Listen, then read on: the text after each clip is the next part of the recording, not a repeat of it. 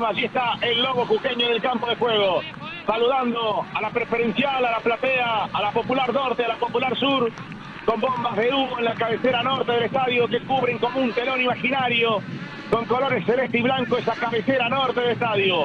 Cuando en estos momentos sale el equipo de Raúl Antuña, allí está el equipo cuyano y está el verde negro, está San Martín, allí está San Martín, vamos arriba, el público jujeño. Está el equipo de Antuña, con Matías Borgoño, con Molina, con Cáceres, con Sierra, con Álvarez, con García, con Pelaitay, con Chere González, con Lautaro Escalante, con Maxi Casa y Federico González, pasando en estos momentos para los reporteros gráficos. Está San Martínez verde y negro en el campo de juego. 9-3-0, señores, arrancó el partido Jujuy.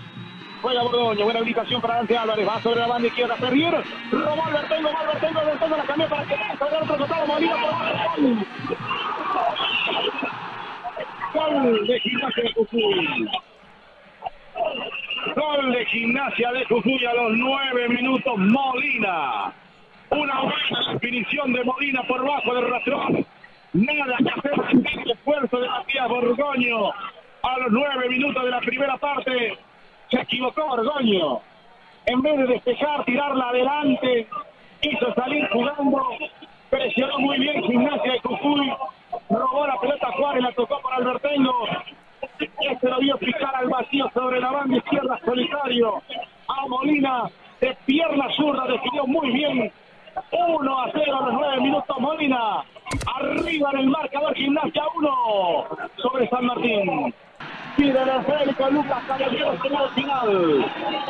Final, final, final, final, final, final, final. Final de esta historia en Jujuy. En el norte fue derrota de San Martín, cayó el líder. A mano de Gimnasia, Jujuy 1 a 0. El único gol marcado a los 9 minutos por intermedio de Molina. Ganó el Lobo Jujeño y vos lo viviste por Radio Santa Cecilia 91.7 y la Deportiva 102.5. La radio que más gusta en San Juan.